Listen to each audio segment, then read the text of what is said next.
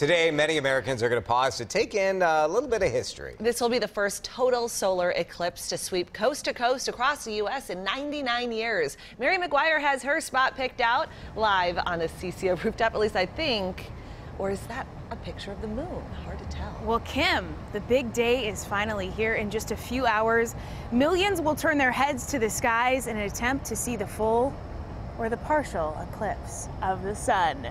Great visual, right? Well, when the eclipse first hits the tiny farming town of Madras, Oregon at about 12:16 Central Time this afternoon, it will take about 90 minutes to travel across North America a little bit, a uh, little bit longer than it took me to get that uh, fake moon across my face. 12 million people are lucky enough to live directly under the eclipse path of totality, which unfortunately does not include Minnesota or Wisconsin. If the clouds allow for it, we will be able to see a partial eclipse with a little more of 80% of the sun obscured. A total eclipse is a rare event, but we won't have to wait long for the next one. We're a little bit fortunate now in that we will get to observe this total solar eclipse in the United States, in North America, and another one in 2024. So we're not going to have to wait another 40 years.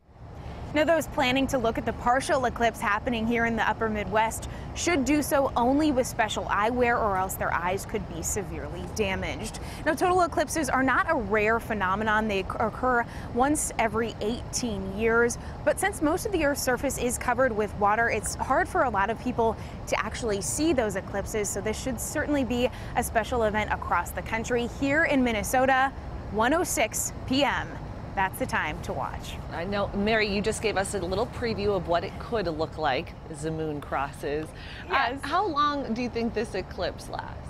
Well, in that path of totality that I was talking about from Oregon to South Carolina, that should be about two minutes. I had the idea that I should really, you know, do the 90 minute thing but I think the show would be over by the time I got finished with that. Yeah, it would be equally fascinating, though. Exactly, right? Mary, thank you. well, last night in Eden Prairie, dozens of students got on a bus bound for a total eclipse location. They didn't know yesterday which way they were going, Nebraska or Wyoming, depending on cloud cover. Their astronomy teacher organized this trip for his students and their families. They are driving right back home after the eclipse. CBS News has a special report starting at noon today. They'll cover the solar eclipse from all across the country. That coverage wraps up at 2. Our noon newscast is moving to 11 a.m.